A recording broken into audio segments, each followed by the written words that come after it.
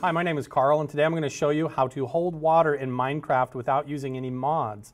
It's important to know how to do that because water is critical in the game for adding cool elements to your house and also for putting yourself out if you catch on fire.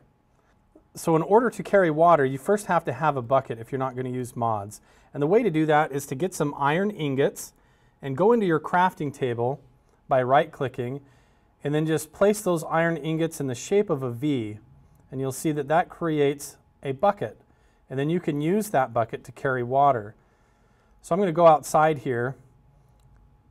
I have some water. I can right click on that water to carry it in my bucket and then I right click to place that water wherever I want it to go. If I want to create an endless pool of water, simply dig four squares in the ground. One, two, three, four. If you do any more or any less than that, this will not work. And then use your bucket to haul some water and place a bucket full of water in each corner.